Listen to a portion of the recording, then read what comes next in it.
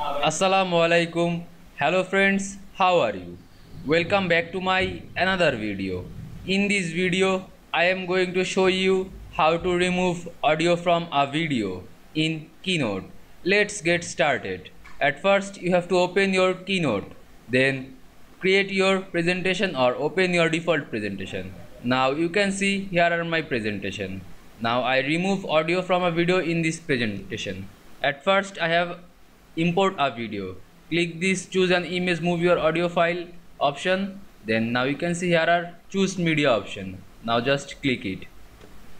Now you can see here are my video and simply just play press open.